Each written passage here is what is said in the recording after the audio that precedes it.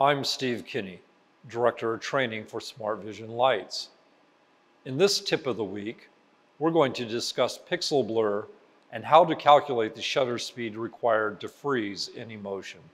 One of the things we often hear is customers telling us things like, the object is moving slow, only 100 millimeters a second. The object is moving really fast at 10 meters a second, etc. Just how fast is fast or slow, though? These comments relate only to the speed of the object. The object speed is only one of three critical factors needed to calculate the required shutter time. The other two are the field of view around the object and the number of camera pixels in the direction of travel.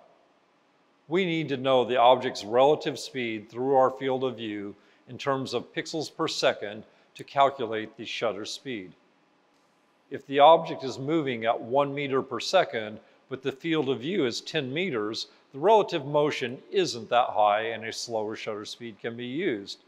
However, if the object's speed is the same one meter per second, but the field of view is instead a narrow 50 millimeters, then a very fast shutter speed must be used. It's not just the object's speed, it's the object's speed relative to your field of view and the camera's resolution in pixels.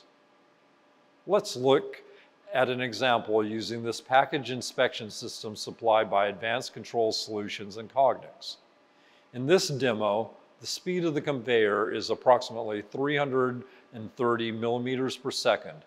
The field of view is 400 millimeters in the direction of travel, and the Cognex camera being used has 2,448 pixels in the direction of travel. Ideally, to freeze the motion for an accurate inspection, we want one pixel or less worth of movement during the exposure time. To calculate the exposure time needed to achieve this, we take the 400 millimeter field of view in the direction of travel, divide it by the 2,448 pixels in that direction, and divide that by the 330 millimeters per second velocity. This yields a 500 microsecond maximum exposure for one pixel of movement. If we capture an image with a 500 microsecond exposure or 1 2000th shutter, then we can see that the image has sharp defined edges down to the pixel level. If we keep that same speed but lengthen to a 5 millisecond exposure or 1 200 shutter, then we can calculate that would be approximately 10 pixels of blur. You can see the effects of this as the edges start becoming blurry in the direction of travel due to the movement during the exposure time. When your relative motion is high and you need very fast shutter times, then you may need a lot of continuous light.